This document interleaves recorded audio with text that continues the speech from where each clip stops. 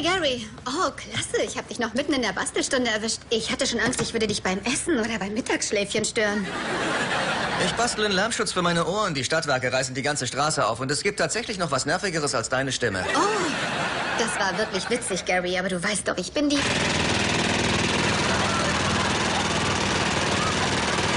Weshalb ich ihn dir auch in 90 Prozent der Fälle nur vorgespielt habe. Ich habe gar nicht gewusst, dass hier gebaut werden soll. Wie soll ich denn bei dem Lärm meine Hausaufgaben machen? Deshalb habe ich meine erst gar nicht mitgebracht. Tja, sie gehören dir, Gary. Oh, und dein Sohn Tom hat Hausarrest. Meine Güte, nur wegen der Feuerwerkskörper. Nein, nein, äh, Wie, was? Was? Was denn? Er hat ein Schimpfwort benutzt. Tommy, was habe ich dir übers Fluchen gesagt? Ich weiß. Schau erst, ob Eltern, Lehrer, Priester oder Cops da sind. Merk's dir. Und halt dich dran. Du musst es leben, Tommy. Äh, Moment, was hat er denn gesagt? Dasselbe, was ich an unserem ersten Date gesagt habe, als mein Hosenstall offen stand? Nein, Gary, es war dasselbe Wort, das mein Vater vor sich hingemurmelt hat, als du sagtest, ja, ich will. Ich sorg dafür, dass er hier bleibt, okay? Danke. Oh, oh, Gary, du wirst stolz sein zu hören, dass Louise dieses Wochenende zu Jenny Stevens Rollschuhparty eingeladen wurde. Ja, Luis, endlich, ja! Jetzt gehörst du zu den beliebten Mädchen. Das ist toll. Gary, warte, du hast mich nicht ausreden lassen. Louise hat die Einladung ausgeschlagen. Sie, sie hat's nicht nötig, sich bei diesen Mädchen anzubiedern. Ich habe eine unabhängige junge Dame großgezogen, die eigene Entscheidung trifft.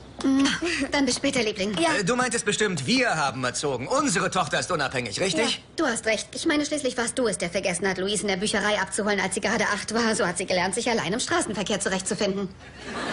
Bis bald, Mom. Mach's gut. Ich werde auf diese Party gehen. Du hast doch gesagt, du willst nicht hingehen. Nein, Mom hat gesagt, ich will nicht. Bei dir macht sie das auch?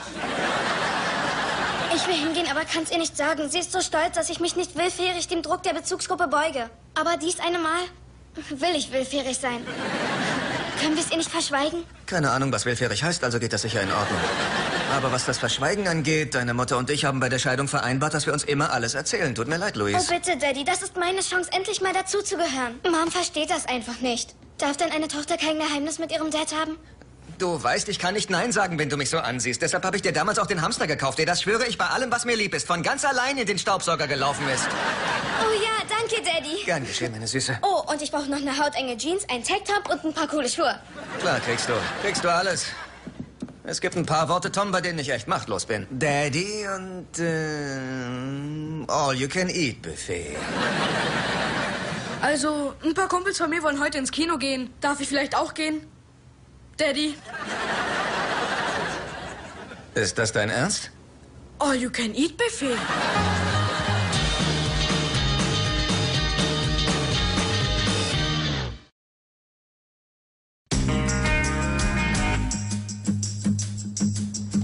Louise sagte, sie braucht hautenge Jeans, aber auf der Seite sehen für mich alle Jeans hauteng aus. Gibt's denn keine Jeans für Dicke? Ahnung, google mal. Oh nein! Komm schon, ehrlich. Gehört doch verboten, oder? Okay, trotzdem, Mann, speicher das ab für mich. Ich hab später noch einen Blick drauf. Ich hab mich da völlig übernommen, Curtis. Ich bin im Mami-Territorium. Jeans für kleine Mädchen, Partys für hippe Mädchen. Naja, weißt du, wer dir vielleicht helfen könnte? Frag doch einfach mal Sascha. Sascha ist doch keine Mom. Aber sie hat alles, was Mamis brauchen. Nur bei ihr ist es noch ein bisschen fester als bei Allison. Du redest da über meine Ex-Frau, Mann. Na, tut mir leid. Und es gefällt mir. Okay, wieso fragst du nicht Sascha, ob sie dir hilft? Ich weiß nicht. Seit Thanksgiving kennt sie all meine Altlasten und meine verrückte Familie und wir hätten uns fast geküsst. Seitdem ist alles komisch. Oh Mann, die Spinnen, die Weißen. Ihr macht immer alles so kompliziert. Hör zu, du brauchst eine Frau, die dir beim Klamottenkaufen hilft und da steht eine keine drei Meter entfernt. Bitte sie einfach um Hilfe. Und versuch diesmal dem Drang zu widerstehen, sie zu verschlingen, als wäre sie ein Sparmenü von einer Burgerbude. Sparmenü. Die Spinnen, die Schwarzen.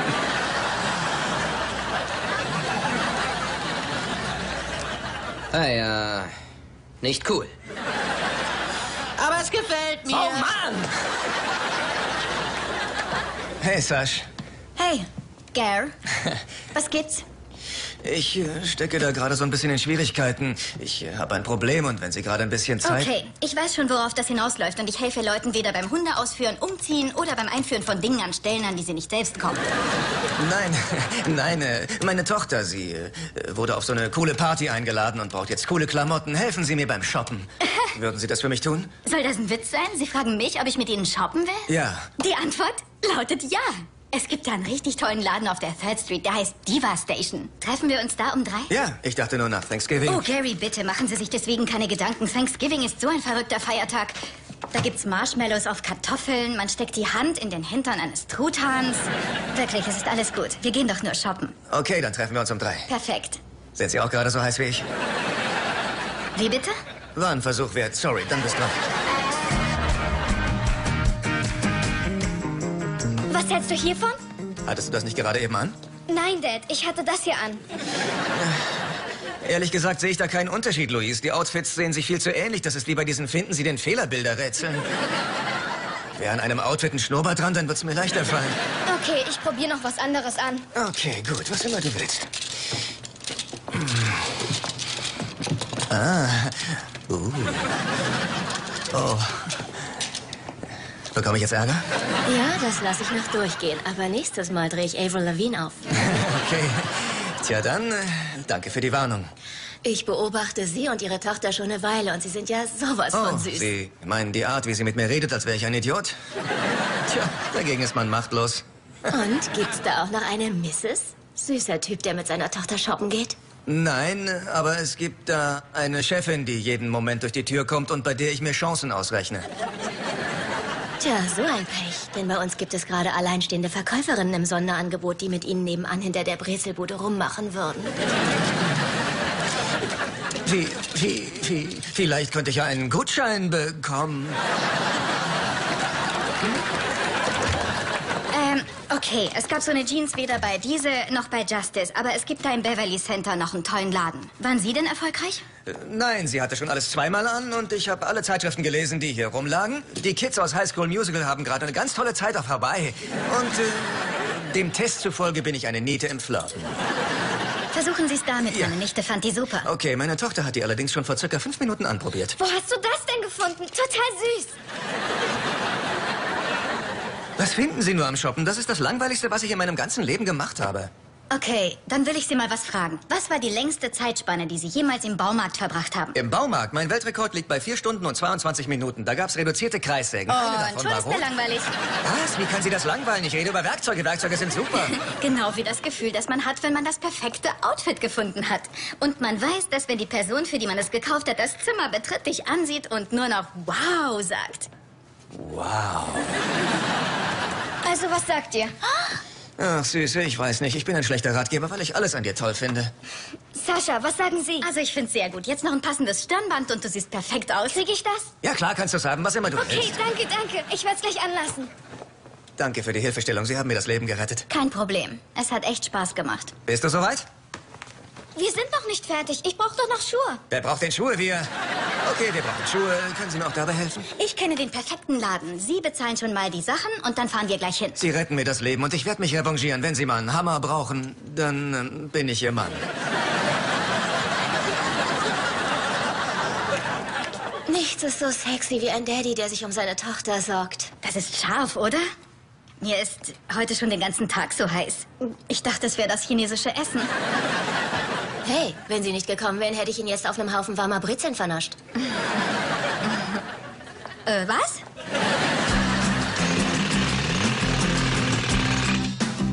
Oh, und wie ich dich fertig mache! Uh! Das ist nicht fair. Du hast trainiert, als ich in der Schule war. Tja, man muss seine Chancen nutzen, Tom. Okay, ich werde in ein paar Minuten abgeholt. Wie sehe ich aus? Ja, du siehst bezaubernd aus. Ah? Dad, das ist echt wichtig. Ich brauche eine ehrliche Meinung. Tom, wie sehe ich aus? Äh, wie alle anderen Mädchen in der Schule. Ehrlich? Danke. Uh. Oh, ich glaube, da kommt der Spaßbremsenbus eurer Mutter vorgefahren. Du musst hier verschwinden, so Oh, schick wie okay. du bist. Äh, Okay, äh, du gehst nach oben und ich halte deine Mutter auf. Irgendwie, vielleicht muss ich zum Zungenkuss greifen. Dann bitte ich dich, die Augen zu schließen, klar? Wann werden die denn endlich mal fertig? Da hält einer ein Schild hoch. Achtung, Baustelle. Denkt ihr, ich bin blöd? Warte, wieso spielt Tom Videospiele? Hausarrest bedeutet auch keine Videospiele. Tom! Ja, okay. Ich, ich wusste es. Aber Dad nicht und er braucht doch einen Spielpartner. Alles klar, na gut. Äh, ich wollte Luis nur ihr Geometriebuch für ihr Lerntreffen bringen, okay? Oh, gut, ich sag ihr, dass du es vorbeigebracht hast. Wo, wo ist sie denn? Ich möchte mich noch kurz verabschieden. Sie schläft, Allison. Sie hat drei Stunden lang Gleichungen gelöst und dann ist ihr mit ihrem riesigen Hirn gefüllter Kopf einfach zur Seite geklappt und sie ist eingeschlafen. Weißt du, du benimmst dich irgendwie merkwürdig. Ich, Kannst äh, du nicht... weg!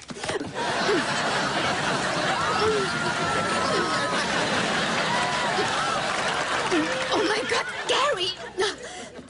Das war ja widerlich. Das war, als hätte ich eine warme Auster im Mund gehabt. Vorbei? Ja, okay, weiter geht's. Na, das war doch eine tolle Sendung. Wir haben festgestellt, dass Pferderennen genau wie Autorennen sind. Ohne qualmende Räder, dafür mit dampfenden Häufchen. Ich bin Gary Brooks und das war der Punktestand. Alter, das ist nicht cool. Wir haben fünf Minuten überzogen und du weißt, dass ich freitags pünktlich um sechs gehe. Woher sollte ich das wissen? Hast du mich hier freitags schon mal um Viertel nach sechs gesehen? Nein. Weil ich nämlich am Freitag immer um sechs gehe, bis auf heute, wo ich wer weiß wann gehen werde, weil ich mit dir darüber rede, was ich eigentlich tun will, nämlich gehen. Verstehst du mein Dilemma? Hey, Curtis, warum vertiefen wir die Diskussion nicht äh, bei einem Bier? TGIF. Trink Guinness, es ist Freitag.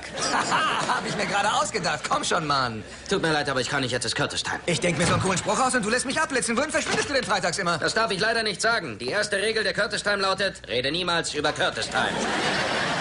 Hey, tolle Sendung heute, Gar. Hey, danke, Sash. Und? Hat sich der ganze Shopping-Trubel gelohnt? Ja, das war das Gold wert. Genau genommen 264 Dollar und 15 Cent.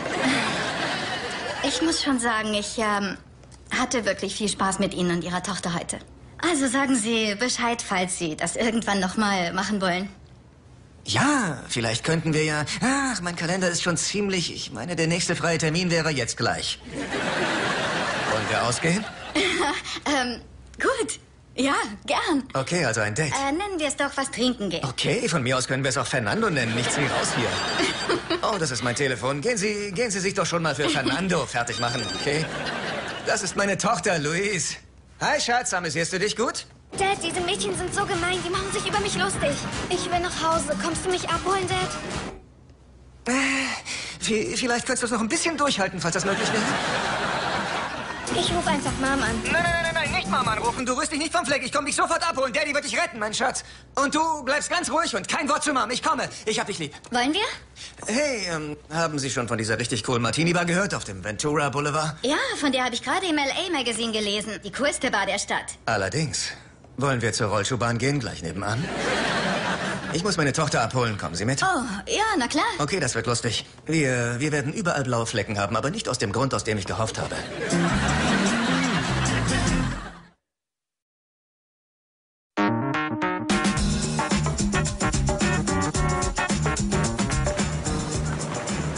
Das wird nicht lange dauern. Ich werde jetzt, ich schnapp mir Louise, wir nehmen sie mit, bringen sie nach Hause und dann gehen wir beide was trinken. In Ordnung? Okay. Dad, äh, was, was machst du denn hier? Das ist jetzt total peinlich für mich. Du hast mich angerufen und gesagt, ich soll dich abholen. Ich denke, alle machen sich über dich lustig. Aber jetzt ist alles wieder in Ordnung.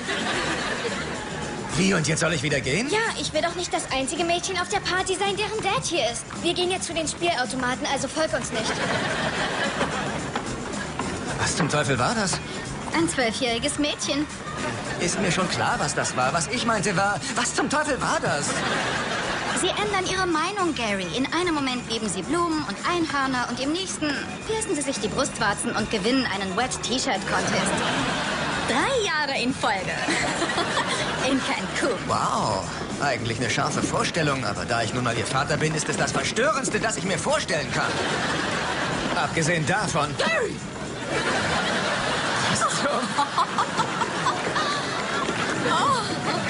Was machst du jetzt? Curtis, was zum Teufel machst du hier? Ganz richtig, so ist es. So verbringe ich Curtis Time. Ich lass die Puppen tanzen. So hast du mir denn nie erzählt, dass du freitags auf der Rollschuhbahn ordentlich die Puppen tanzen lässt? Dann hätte ich dir doch meinen Satin-Blouson mit der passenden Schlaghose geliehen. Wenn ihr mich entschuldigen würdet, ich muss noch ein paar Moves üben, bevor die Pärchenrunde anfängt. Also dann gehen wir jetzt? Nein, ich kann nicht. Was, wenn sie wieder ihre Meinung ändert? Ich meine, zuerst, da soll ich ihr noch helfen und dann plötzlich doch wieder nicht. Die Party ist sowieso in einer halben Stunde vorbei. Wir bleiben hier und dann fahre ich Luis nach Hause. Es tut mir leid für den verbockten Abend, wirklich. Nein, soll, soll das ein Witz sein? Die Tatsache, dass Sie sich so um sie kümmern, hat Sie gerade um 50 Punkte in meiner Achtung steigen lassen. Wow, 50 Punkte. Also, wenn Sie noch etwas Gesellschaft möchten, dann bleibe ich wirklich gern. Welche Größe haben Sie? Also bislang hat sich noch keine beschwert.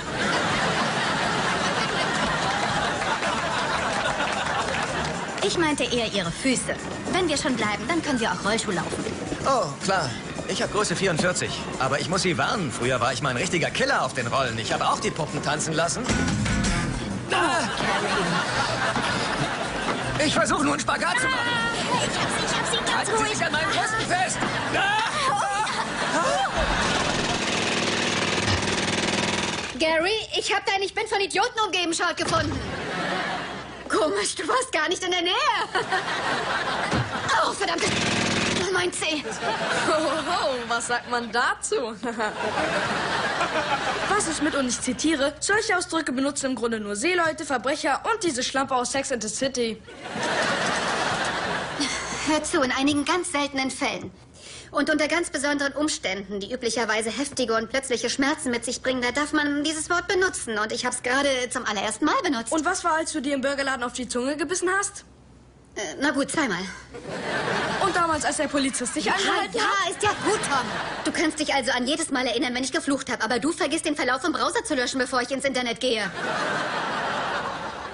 Und nebenbei bemerkt, wenn Sie schon Kaiserschnittnarben haben, dann verstehe ich wirklich nicht, wie man darauf kommt, sie mit gerade erst 18 zu beschreiben. Aber ist schon gut, Tom. Du, du, du kriegst keinen Hausarrest, obwohl du ihn verdient hättest, weil es eklig ist. Klar? Also gut, wo ist Louise? Ich wollte ihr ihren Rucksack bringen. Oh, ich glaube, Dad wollte sie bei der Rollstuhlbahn abholen. Sie hat angerufen und geheult. Alle haben sich über sie lustig gemacht. Da war doch irgendetwas anderes, was ich dir unbedingt sagen sollte. Ähm. Oh, richtig. Ich soll's dir nicht sagen. Tja, danke, Tom. Ich gehe jetzt schnell zu meinem Wagen, bevor ich das Wort wieder sage. Hey, habe ich immer noch Hausarrest? Ja, ja. Dafür bekommst du einen weiteren Tag. Was? Ja. Okay, kommen Sie. Sie schaffen das. Nur noch ein kleines Stück. Ja, toll. Ja. Sie werden wirklich immer besser. Oh. Das waren jetzt schon gute 10 Zentimeter besser als beim letzten Mal. Sie sind echt eine Wucht. Toll, dass Sie hier sind. Und ich wette, Sie hatten nicht damit gerechnet, dass ich Sie auf einen Drink einlade, der Ihre Zunge blau färbt. Hey, ich werde einfach sagen, ich hatte eine wilde Nacht mit Papa Schlumpf. das war echt ein toller Tag. Oh ja, ich find's auch ganz toll. Und schon ist Schluss mit lustig. Schieben Sie mich weg. Ich muss los. Gary? Jetzt habe ich keinen Spaß mehr. Terry, Nein, was ist hier Allison, los? was? Was ist hier los? Sie bereiten alles für den Limbo-Wettbewerb vor und dann kommt die Pärchenrunde. Okay, weißt du was? Das ist nicht witzig. Hey, Süße wie Rotzo. Mein Gott! Aber das ist wirklich witzig. Hör zu, Gary. Ganz im Ernst, wo ist Louise? Und ich meine, Tom sagte, sie hätte geweint. Und was hat sie überhaupt hier zu suchen? Sie wusste, dass du dagegen wärst und völlig überreagieren würdest. Aber Gary, wir haben uns bei der Scheidung darüber verständigt, uns immer alles zu erzählen, was die Kinder betrifft. Es tut mir leid, Sascha. Könnten Sie uns eine Sekunde allein lassen? Es, es ist was Privates. Oh, okay. ähm, Ich Nein, werd ich, dann äh, mal, dann werde ich mich mal Curtis Polonaise anschließen. Okay, ja. Nein, sie darf nicht gehen. Ah. Oh, um Himmels Willen, Gary! Das reicht. Stell dich nicht so Alles an. bestens, alles So bestens. Was sehr. nicht los, alles bestens. Also, Gary, Gruppenzwang ist in Ihrem Alter eine große Sache. Verstehst du? Und irgendwann werde ich mit ihr darüber reden. Okay, aber nicht heute. Ja, sie hat echt eine Menge Spaß. Sie ist zwölf Jahre alt, verstehst du? Eine Woche spielt sie das beliebte Mädchen, in der nächsten die kleine Rebellin. Und übrigens, sie wird niemals nach Cancun fahren, klar? In Ordnung. Ich mache mir einfach Sorgen. Ich will nicht, dass sie verletzt wird. Ich mache mir auch Sorgen, aber glaub mir, du kannst da nicht hingehen und ihr den Spaß verderben. Nicht heute, bitte. Nur dieses eine Mal, Allison. Lass mich und Louise unser Geheimnis haben, ja? Also gut. Aber dieses Gespräch ist noch nicht beendet, klar? Toll, denn ich war noch nicht fertig damit, so zu tun, als würde ich zuhören. Na dann, viel Spaß. Okay. Oh ja, Polonaise. Los, hinterher. Hey, hey, wo wollen wir hin? Tut mir leid, dass der Abend so ausgegangen ist. Ich hatte mich so darauf gefreut, Sie mal außerhalb der Arbeit zu treffen. Ja. Aber ich hatte etwas Zeit zum Nachdenken, als ich da drüben in der Ecke saß, in die Allison mich geschickt hat. Und, äh, naja, mir ist klar geworden, dass ihr Leben aus viel mehr besteht, als nur coole Outfits für ihre Tochter zu kaufen. Verstehen Sie mich nicht falsch, es war wirklich toll heute. Also mit Ihnen und Louise Zeit zu verbringen, hat echt Spaß gemacht. Aber dann haben Sie und Allison angefangen zu streiten. Und da steckt noch so viel mehr dahinter. Also war unser Drink, ich meine unser Date, unser Fernando. War unser Fernando eine Pleite? Naja, die Nacht ist noch jung. Und äh, jetzt läuft die Pärchenrunde. Okay, ich bin dabei, wenn Sie dabei sind. Im Ernst? Ja, wir probieren jetzt mal was aus. Aber ganz vorsichtig. Achtung. Okay, nach vorne. Alles klar? Das, ich will ganz ehrlich sein, es fühlt sich immer noch komisch an. Sie müssen sich noch dran gewöhnen, aber das wird schon Fühlt werden. sich an, als würde der Boden sich bewegen. Okay. Langsam. Na also, geht doch. Ah. Und? Perfekt.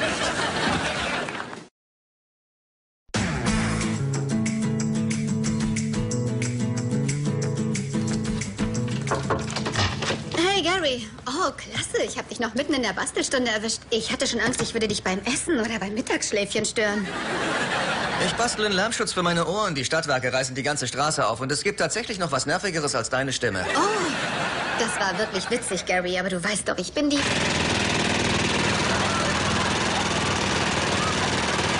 Weshalb ich ihn dir auch in 90 Prozent der Fälle nur vorgespielt habe.